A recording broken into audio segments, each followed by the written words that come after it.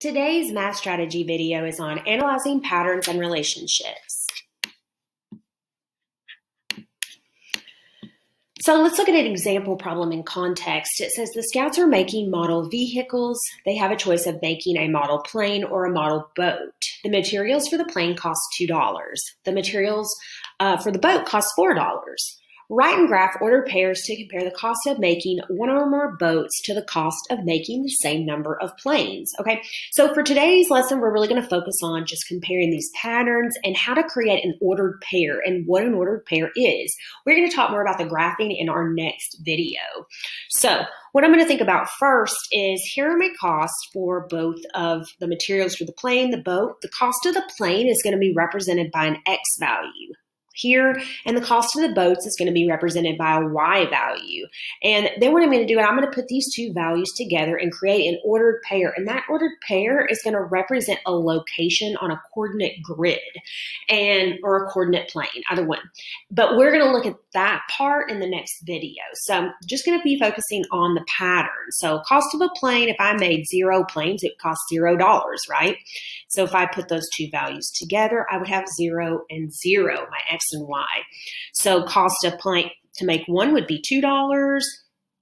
To make um, to, or sorry, to make one would be two dollars, two would be four, three would be six, and then four would be $8.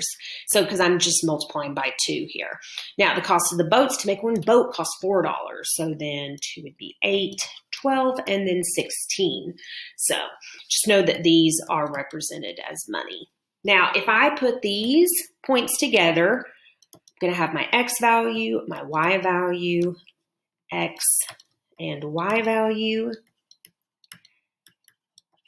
X value and Y value, Okay, now what do you notice about these pat this pattern here? What is the relationship between the x value and the y value? So remember, the x value is the plane, and this y value is the boat. So what relationship or what pattern do you see?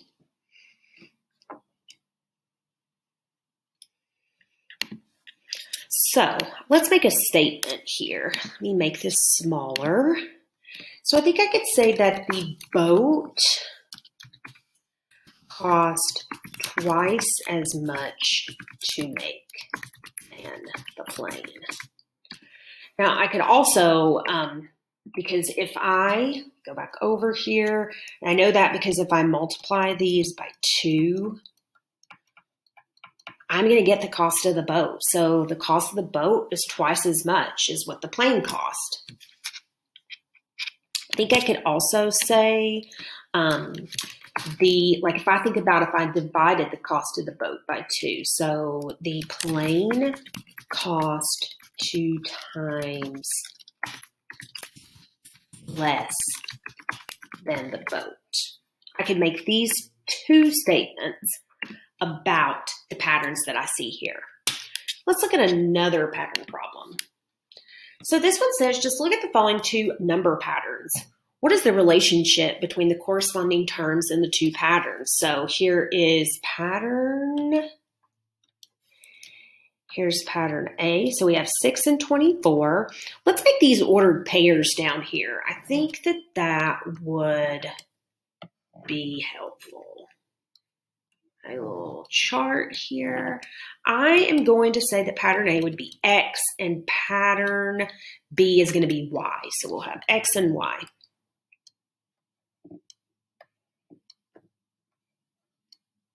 Okay, so I have 6 and 24.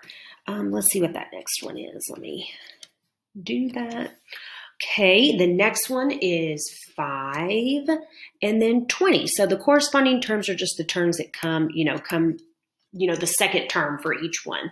Um, this one would be the third term. So I have 4 and 16, 2 and, oh, wait, yeah, 4 and 16, 3, sorry.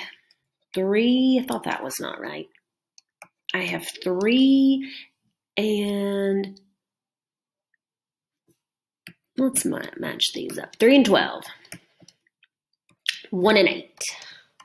Okay, so let's just look at this. So what what pattern do you see here with these x and these y values? So I've got 6 and 24, 5 and 20, 4 and 16, 3 and 12. So this would be, um, what do I do to 6 to get to 24? 6 times 4. Let me do that in a different color so it might show up. 6 times 4 would be 24. 5 times 4 is 20. 4 times 4 is 16. And 3 times 4 is 12. Okay, so I can see here that if I, these are 4 times more. 4 times more. The x values are the, maybe I should say the x values, well, let me say, just the x values are 4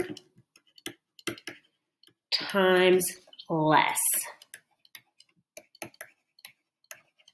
than the y values. Or I can say the y values are 4 times more than the x values. All right, that is all for today's lesson in analyzing patterns and relationships.